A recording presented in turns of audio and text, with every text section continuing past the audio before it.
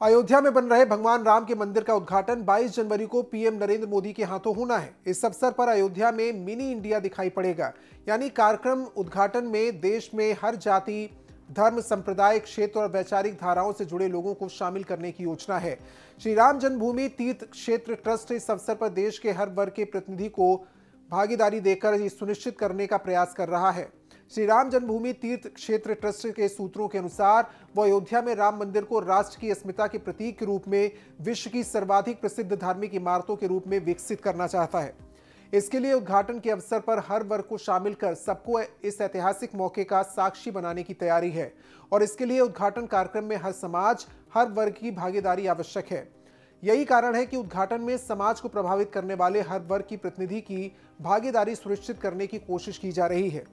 देश के सभी प्रांतों केंद्र शासित प्रदेशों, इनमें प्रचलित विशेष धार्मिक संप्रदायों के लोगों को उद्घाटन कार्यक्रम के लिए न्योता भेजा जा रहा है। विशेषकर सिख, बौद्ध और जैन तो जैसे जो धर्म संप्रदाय, सनातन हिंदू धर्म से निकले हैं, उन सबको उद्घाटन कार्यक्रम में शामिल होने के लिए आमंत्रित किया गया है। इस बहाने उद्घाटन कार्यक्रम में देश के हर प्रांत केंद्र शासित प्रदेश की भागीदारी सुनिश्चित की जाएगी। हालाँकि आम जनता के लिए अलग अलग प्रांतों के लिए अलग अलग दिन निर्धारित कर भीड़ को कम करने का प्रयास किया जाएगा। राजनीति से जुड़े लोग अभी तक विपक्षी दलों के इस कार्यक्रम में आमंत्रित करने का असमंजस बना हुआ था, लेकिन ट्रस्ट ने कांग्रेस की पूर्व अध्यक्ष सोनिया गांधी सहित कई वरिष्ठ नेताओं को आमंत्रित कर इस पर स्थिति साफ़ कर दी है। माना जा रहा है कि जल्द ही विपक्ष के अन्य शीर्ष नेताओं को भी राम मंदिर उद्घाटन कार्यक्रम में शामिल होने का न्यौता भेजा जाएगा। इसमें अखिलेश यादव, ममता बनर्जी और नवीन पटनायक जैसे नेता शामिल हैं।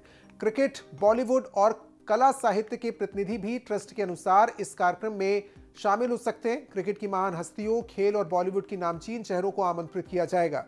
इन हस्तियों की ओर से आने की स्वीकृति के बाद ही इनके नाम सार्वजनिक किए जाएँगे।